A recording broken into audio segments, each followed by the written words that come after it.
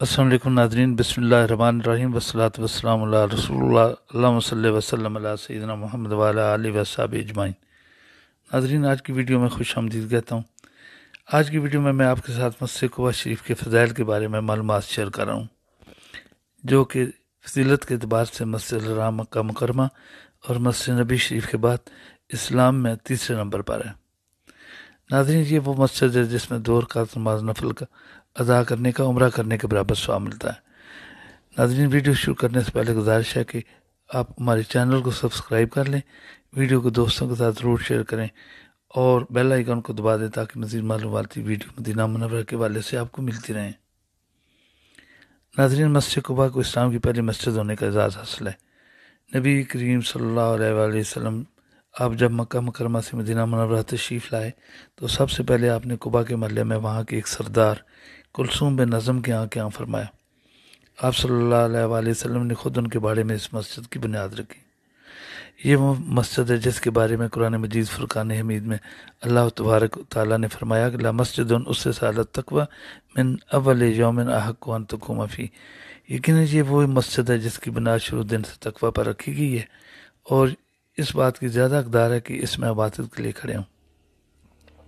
नाजरीन, इस मस्जिद के बारे में और भी बहुत सी हदीस मुबारक मौजूद है, जिनमें एक ये है कि आप वसल्लम हफ़्ते के दिन पैदल या सवार होकर इस मस्जिद कुबा तशरीफ़ ले जाया करते थे।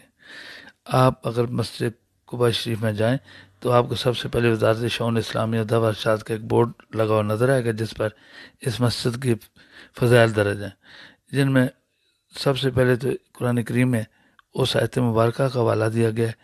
फिर दूसरे नंबर पे यह है कि, मन तहरा मिन बैत इसमात मसलफ़ी सलात काना लहू अदरा कलमरा यानी जो, जिस आदमी ने वज़ू किया और अपने आप को पाक साफ़ करके इस मस्जिद में आया और दो रकात नमाज़ नफल अदा की, उसका स्वाब उसके उम्र के बराबर। नाजीन जब तब्दीली कुबला का हुक्म हुआ तो नबी वसल्लम ख़ुद कुबा तशरीफ़ लाए और किबला की तबलीग तब्दीली का खुद खत खींचा।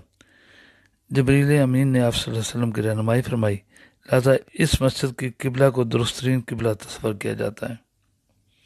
नाजरीन सईदना इबन उमर रज़ी तला ने फरमाते हैं कि मैंने रसोल्ला वसल्लम को देखा कि आप हर हफ़्ते पैदल या सवारी पर कुबा तशरीफ़ ले जाते और वहाँ पर मस्जिद कुबा में दौर का नमाज़ नफल की अदायगी फरमाते। और भी इस मस्जिद की वसीलत के बारे में बहुत सी रवायात मनसूब हैं। आमर बिन साद बिन नबी वकास की बहन आयशा बिन साद दोनों कहते हैं कि हमने साद रज़ी तु को फरमाते हुए सुना कि मुझसे मस्जिद कुबा में नमाज़ पढ़ना बैतुलमक़दस में नमाज़ पढ़ने से ज़्यादा महबूब है।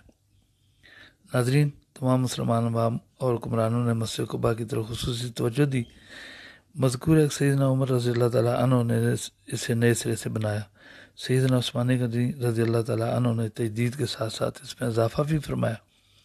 और बाद में जब हज़रत Umar bin Abdulaziz Medina Munawwara के गवर्नर मुकर हुए तो उन्होंने सतासी हजरी, तिरानवे हजरी इसकी मस्जिद की तजीन तजदीद तजीन की और इसमें इजाफ़ा फरमाया। इसके बाद तुर्कों ने भी और बाद में आल सऊद में शाह फैसल और खादमल अरमान शाह फात बिन अब्दुलज़ीज़ ने इस मस्जिद की तमीर तसी का हुक्म दिया। और मौजूदा खूबसूरत मस्जिद इसी दौर की यादगार है। नाजरीन, इस मस्जिद का मजमू रकबा तेरह हज़ार पाँच सौ मरबा मीटर है और इसमें बीस हज़ार अफराद बेजक वक्त नमाज़ की अदायगी कर सकते हैं। इस मस्जिद के ऊपर कुल छवंजा छोटे गुंबद और छः बड़े गुंबद हैं और चार बड़े मीनार इसकी खूबसूरती में इजाफा करते हैं।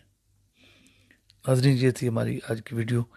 अगर आपको पसंद है तो दरूज भेज। वसलम सैदना मोहम्मद वाला अली वसाब अजमाइन। और चैनल को सब्सक्राइब कर दें ताकि मज़ीद मालूमती वीडियो आपको मिलती रहे। असल